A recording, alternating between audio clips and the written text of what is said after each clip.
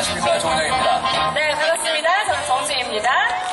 하늘은 맑고 바람은 선선하고 완연한 가을입니다. 그렇죠. 이렇게 가을이 더 깊어지면 예쁜 단풍들도 낙엽이 되버릴 텐데요. 저는 이 낙엽을 보면 부모님이 그렇게 생각나더라고요. 부모님이요? 그렇죠. 낙엽이 땅으로 떨어지면 다시 나무의 양분이 된다고 하잖아요. 어, 가진 걸 다 주고 가는 겁니까? 그렇죠. 그게 바로 부모님 마음 아, 아니에요. 그렇죠, 그렇죠. 큰 방송의 그 편성 제작 책임자로 20년 동안 있으면서 정말 그 또 이렇게 인간인들하고 많이 만나게 됐는데 특히 이 광주의 복지관에 올 때마다 너무나도 행복한 마음으로 옵니다. 너무 오늘 행복하게 진행을 잘 하겠습니다. 여러분의 큰 박수가 있어야만 진행이 멋져지겠죠. 네. 자, 효 콘서트 그 첫 무대를 열어주실 분 모셔보겠습니다. 네, 남자답게 인생의 고 단단히 거머쥔 분이시라면서요? 네, 맞습니다. 가수 유현상 씨, 큰 박수로 모시겠습니다.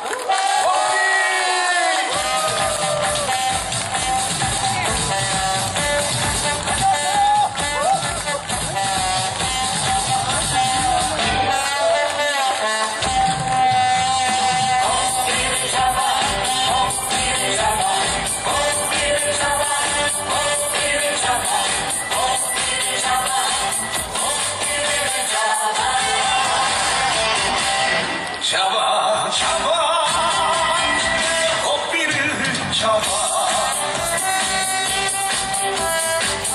Tanrı şey